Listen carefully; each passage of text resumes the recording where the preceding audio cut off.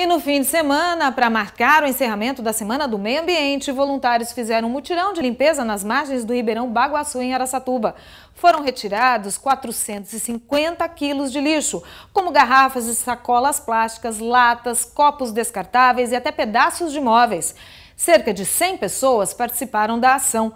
O material recolhido será levado para uma cooperativa de recicláveis da cidade. Só para você ter uma ideia da importância desta ação, o Ribeirão Baguaçu abastece seis em cada dez imóveis de Araçatuba.